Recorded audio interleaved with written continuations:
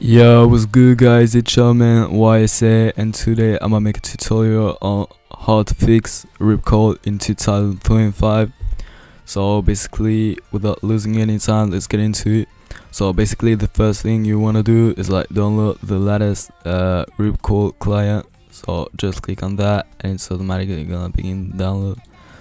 The second way, uh, you're gonna download the .dll file that you can find on this link I'm gonna lay on the description. When it's done you're gonna get two files one like this one like that. You wanna extract the Ripcord file just like that. Whenever it's done just click on your winmm.dll file you're gonna copy it okay?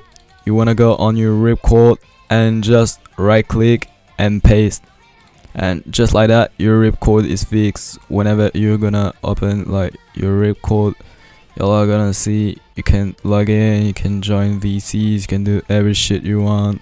I'm gonna join a vc just to show you it's working. Hold on let me just find one that's like empty.